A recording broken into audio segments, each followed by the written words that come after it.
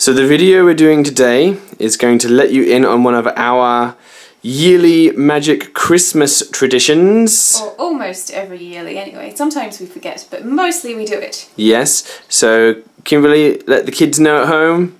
This is the Magic Advent Calendar.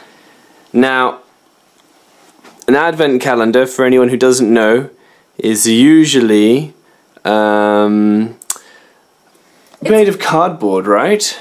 Usually. I actually don't know what it's usually made of up of. To be honest, this is the first one that I've ever actually seen in person. The only other ones I've ever seen, because I think it's more of an American tradition than an Australian. Uh, but yeah, the ones I've seen before have been American and online in the digital space. So I've, I've seen ones that actually look like interactive calendars online where you can go and click on things and you get little interesting animations and designs.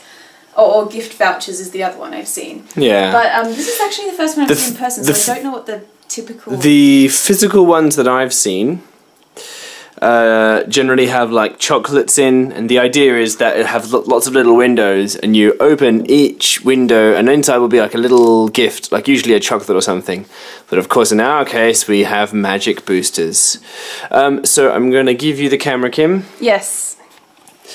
So the way that this works is that this is something that I bought off of eBay very very cheaply. It is designed to go in your wardrobe or closet for the Americans there in the audience.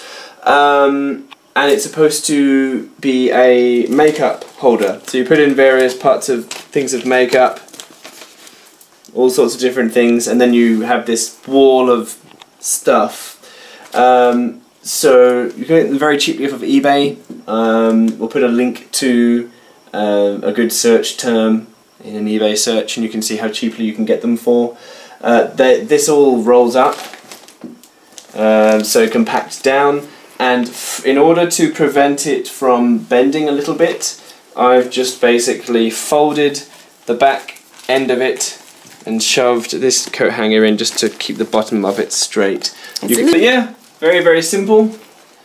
So we usually hang this on a bookshelf. In this case, it's a door, and uh, then the idea is that we get to open a booster every day, or uh, because we're very forgetful, you wait enough days and then you can do a draft, which is what we're going to do now.